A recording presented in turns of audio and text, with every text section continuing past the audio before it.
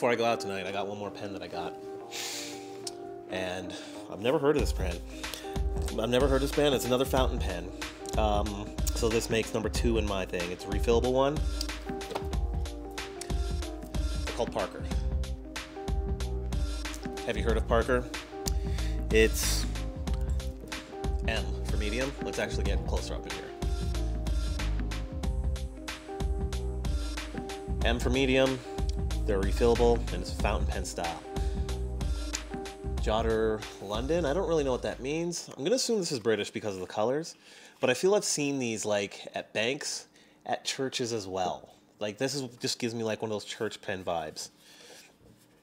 Again, let's see what it says on the back. Is there anything exciting? Well, I gotta focus in to see if there's anything exciting. Medium stainless steel nib, erasable and washable blue ink. Two year warranty. Huh. Well, let's just open this up. If I can focus in on it. Let's open this up. I think we should find out what this thing is all about.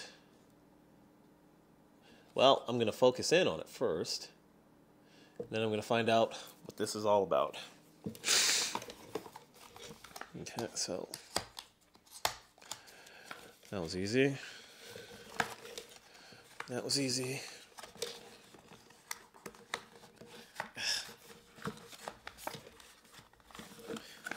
Some reason, it doesn't want to come out. It like wants me to completely destroy the box. Heavens. Again with the Velvet, one single charge, but the uh, rechargeable cartridge. Is that what I'd call it?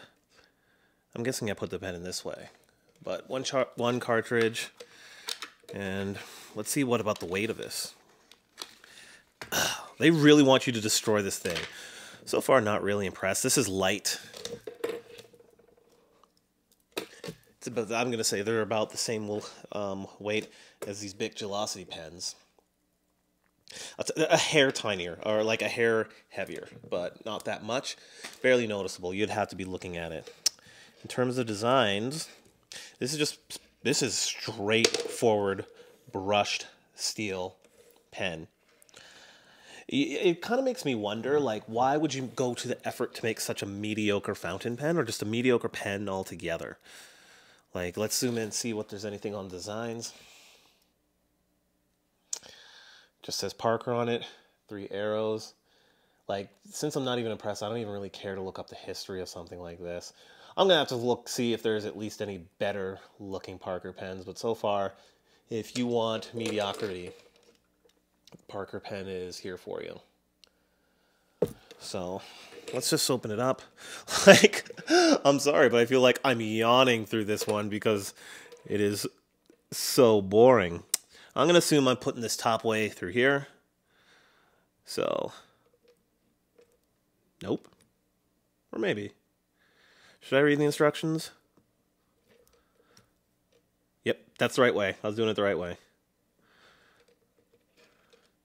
Whoops. Ooh, and it runs. Look at that. I'm already getting myself all messy. Okay. After it's in. Okay, well that's that's kind of that's kind of it, really, man. Wow, am I not excited about this one? But I feel I have seen this before, maybe at a bank. Have I seen this at a bank? I gotta remember, these are just pull-offs. Let's get out our trusty paper. Let's start writing with it.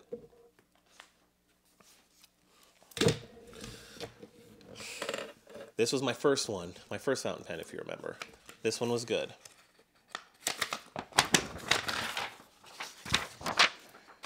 Let's zoom in. Let's focus. Let's bring it down.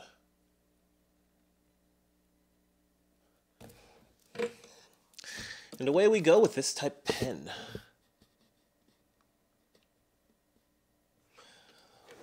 Let's see how it works out. Hmm. This is a par Parker fountain pen. This is a Parker fountain pen.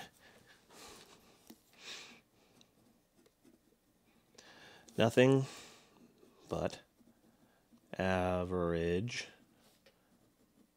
over here. It's writing a light blue, which is not bad.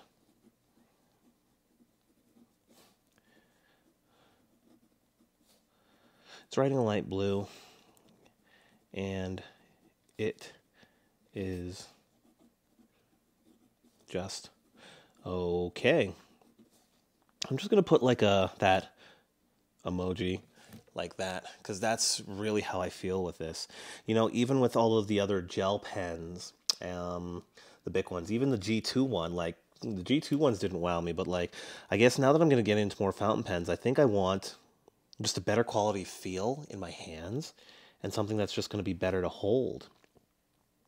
But as I write with this and I see the ink dry, it, it dries a, a light a lighter blue, but still not a blue that's going to be all exciting, right? So let me see if I can make a square.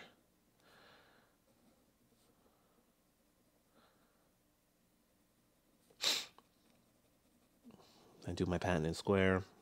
I'm not even going to try coloring in, in the lines properly, but um, when it comes to this kind of thing, like the the ink, when I look at it here, is it? It's drying okay.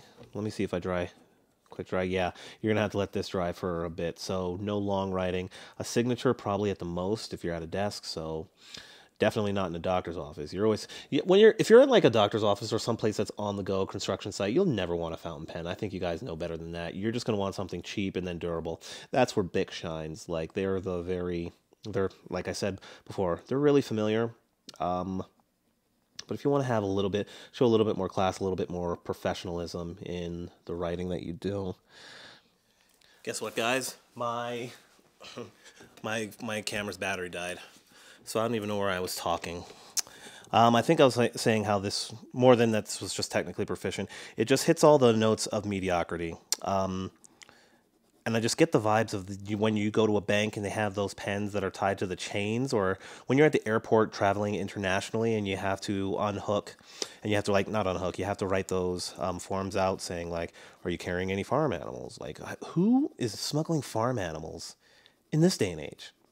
But anyways, you know those cards and they have those pens. That's what this thing screams when I look at it. I guess when you want to write something, you want to have something that you admire in your hands. And unfortunately, I'm just not wowed by this. Um, I will put the link in the description if somebody actually wants to buy this. Hey, maybe there are people that like fountain pens and they just want to be as plain as possible. Because that's what this is super plain.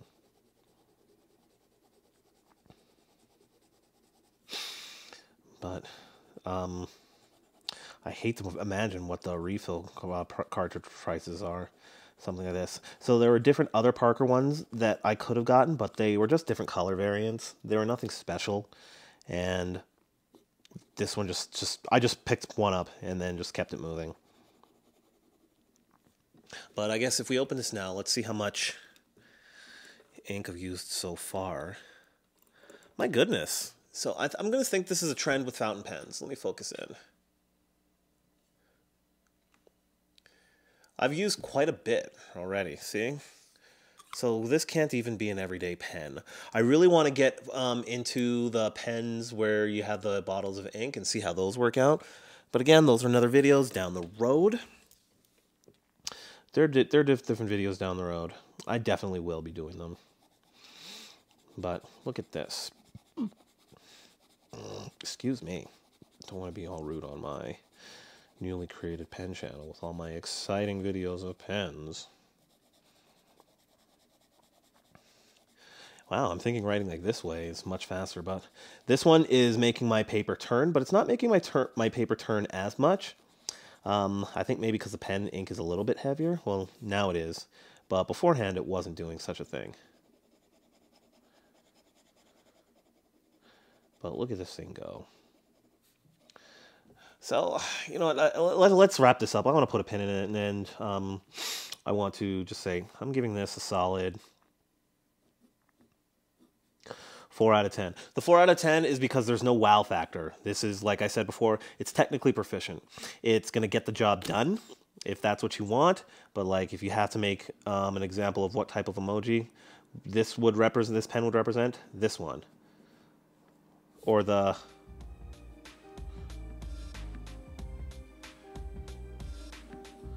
You know which one I'm talking about, the meh.